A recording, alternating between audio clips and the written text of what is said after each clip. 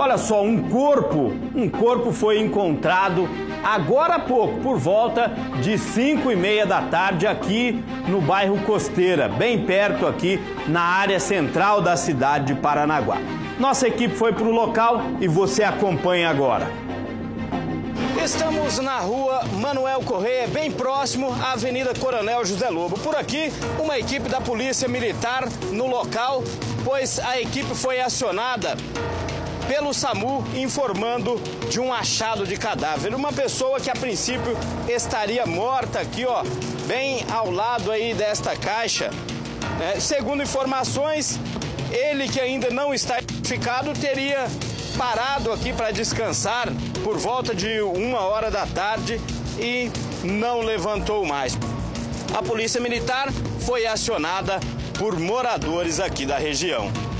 Fomos acionados pela equipe do SAMU em contato com o médico, o qual relatou que o indivíduo é, provavelmente teve a causa do óbito insolação e não há nenhum indício de violência no local. Ainda de acordo com o sargento da Polícia Militar, uma possível causa da morte seria a alta temperatura desta sexta-feira aqui no litoral do estado. É, está desde, deitado no local desde as 13 horas, pegou todo esse sol da tarde aí, o que provavelmente causou a morte dele. A Polícia Militar acionou os órgãos competentes, a Polícia Criminalística e também o pessoal do IML, além, é claro, de uma equipe da Polícia Civil. Trabalhando então com as imagens do cinegrafista Abner Elias, aqui do bairro Costeira, repórter Adilson Martins.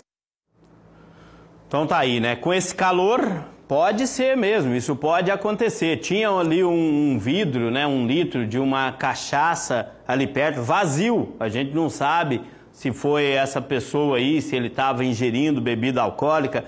Mas apesar de não estar oficialmente identificado, ele era bem conhecido ali na região. Né? Muita gente chegou, falou nome, né? Um, um falou um nome, outro falou outro, então a polícia preferiu não passar nenhum nome e esperar, esperar a identificação oficial aí do cadáver.